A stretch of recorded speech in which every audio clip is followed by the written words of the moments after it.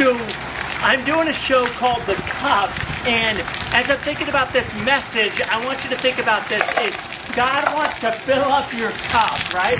And we we might be running on empty right now, but listen to this verse. Oh wow. Listen to this verse. Um, it says, May God of hope fill wait, let me say it again. May the God of hope fill you with all joy and peace as you trust in him, so that you may overflow with hope by the power of the Holy Spirit. So God wants to overflow you with hope, right?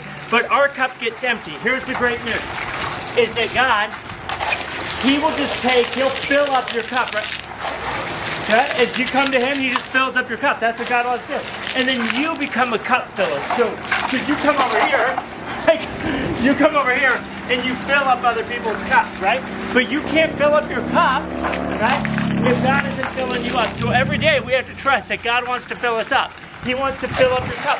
But you have to get in His presence. You have to be with Him and let Him fill up your cup. And as He fills up your cup, then you can go to other people and fill up their cup. But if you're just running on empty and then other people come up to you and they're like, hey, can you help me out?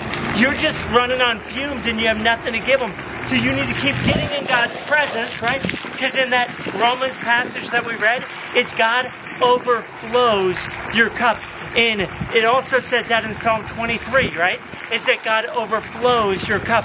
When the woman at the well, right, in John chapter 4, comes to Jesus, Jesus says, Look, the water I give to you, the water I give, you'll never go thirsty because God, He's not ever going to run dry. We can trust that He has enough.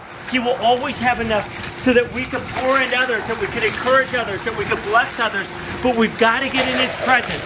As you spend time with God, He fills you up. Don't try to do things on your own. In John 15, 5, it says, Apart from me, you can do nothing. We can't do anything without Him. We're empty without Him. But with Him, He fills us up and He keeps filling and filling and filling. So that's what I want to encourage you with is be a cup filler today. But you have to get your cup filled. So spend time in God's presence and then go bless others, love on others, encourage others, serve others. That's what you're designed to do. And if you haven't heard about the show yet, the show is called The Cup. You can find out more about it and reserve your seat on Monday, this Monday at 10 a.m. See ya.